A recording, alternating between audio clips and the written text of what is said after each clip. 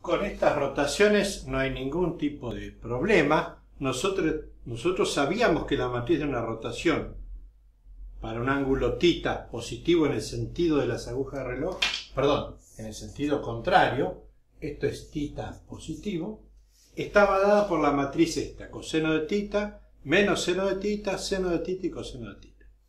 Para pi sobre 6, que son 30 grados, el coseno vale raíz de 3 sobre 2, el seno vale un medio, este menos hace que aparezca un menos, y después repetimos los valores ahí. Y la expresión es esta. A partir de acá voy a encontrar los transformados de cada uno de estos. El de 1, 0 va a ser 1 acá y 0 acá. O sea, raíz de 3 sobre 2, 1 acá, 0 acá, un medio. Y es este punto. Este viene a parar acá. Para el 0, 1, 0 acá, 1 acá me queda un medio negativo. Y después dijimos, x vale 0 e y vale 1, raíz de 3 sobre 2. Es este punto que viene a parar acá, rotado a ese lugar. Y por último este. Fíjense que puedo hacerlo reemplazando acá, 1 y 1, 1 y 1, o directamente sumando. Raíz de 3 sobre 2 más un medio. No, perdón. Menos un medio. Acá hay un menos. Menos un medio. Punto y coma. Un medio más raíz de 3 sobre 2. Y es un punto por acá.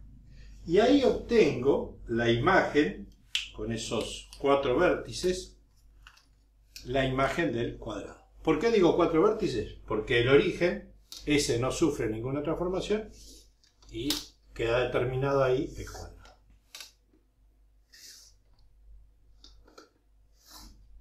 Este punto roto de acá a acá. Un trayecto más largo porque la distancia es más larga. No hay ningún problema. Bueno, con este la misma historia. El transformado de 1, 0, fíjese que acá puse seno y coseno de pi sobre 4, que es 45 grados, y ambos son iguales a raíz de 2 sobre 2. O sea, coseno de pi sobre 4 es raíz de 2 sobre 2 y seno a raíz de 2 sobre 2.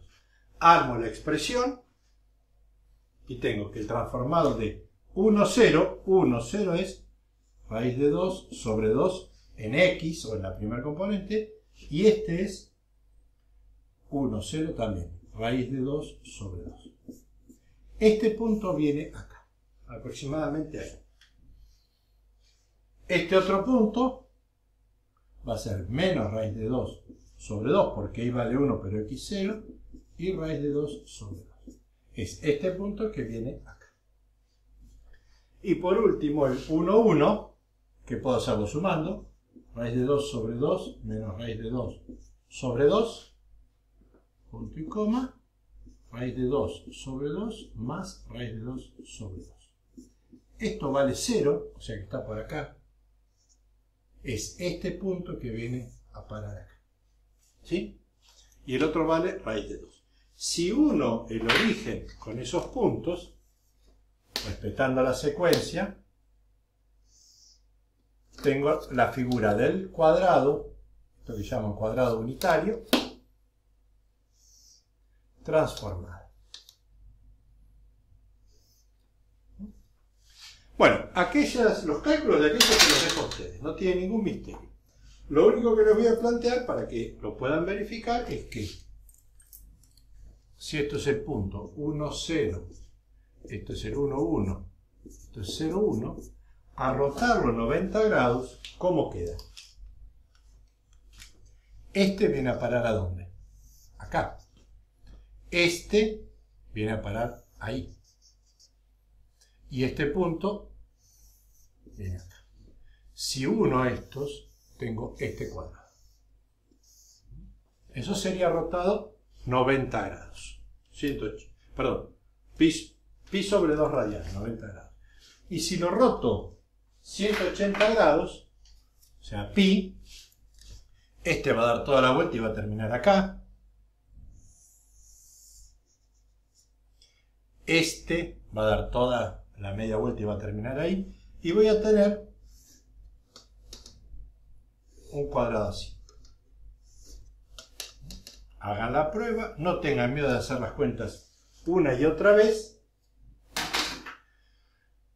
Si acá hubiera tenido algo para ubicar la posición, esto hubiera quedado así y acá hubiera quedado así. Rotado 90 grados. Bueno, hasta el próximo video. En los comentarios de este video tienen links a más videos de la misma práctica y de otras prácticas.